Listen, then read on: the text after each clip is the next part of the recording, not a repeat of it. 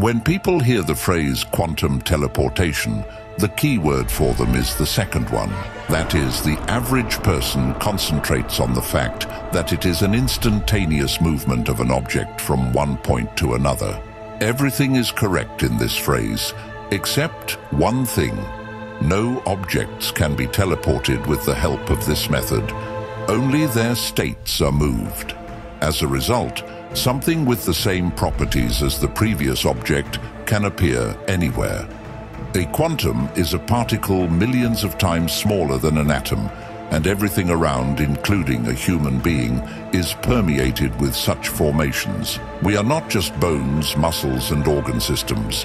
A human being consists of sensations, feelings, and multi-wave fluctuations, i.e. oscillations. Our quantum energy includes not only intellectual vibrations of the brain, but also the collective mind of 50 trillion cells of the organism. This is the foundation of nature, at the level of which matter becomes equal to energy. Initially, our body consists precisely of quantum vibrations that are transformed into cells, organs, thoughts and emotions. Those signals that the quantum body sends to us we sometimes perceive as intuition. At the quantum level, all parts of the human body, from atom to organ, from feeling to thought, are informationally united. If we are happy, a chemical cocktail travels through the body and shares this feeling with the cells. The same happens when grief comes. Diametrically opposite compounds literally poison every molecule of the human body, suppressing immunity. Accordingly, we are totalized by quantum fluctuations. Subscribing to the channel is free, so let's not miss the chance.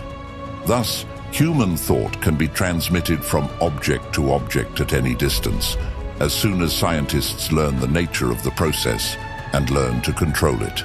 In the future, it is planned to create global quantum switches, all participants of which will be able to instantly exchange thoughts. It is also possible to design computers which are able to explode usual ideas about cyberspace. Information volumes and speed of data transmission of these unthinkable machines will be tens of orders of magnitude higher than the existing ones, and quantum viruses will become a programmer's nightmare. The thing is that after teleportation, they will be able to function outside the computer network. The information unit of such apparatus will be a qubit.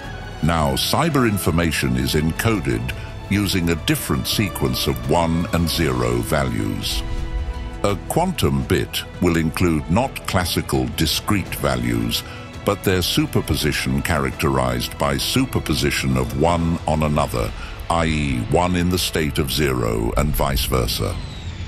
Although such a thing from the point of view of orthodox computer science is impossible, so don't forget to put a free electronic like.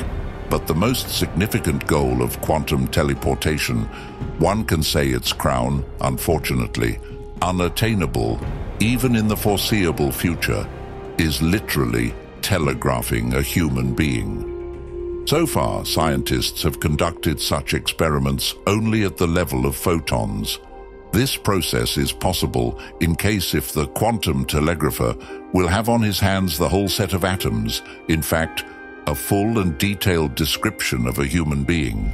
Then, with the help of complex mechanism of transformation of states, it is possible to clone a human being at any given point. But don't imagine a nightmarish invasion of clones. It won't happen. The teleported personality will still remain alone, because the one from which the detailed sample was taken will self-destruct immediately after the transfer. But future generations should take into account that a single mistake is enough, and what used to be someone's brother or uncle will turn into a chaotic and meaningless set of atoms. Don't forget to subscribe and send our videos to your friends. Stay tuned, watch the Hublex channel, and may the power of intelligence be with you.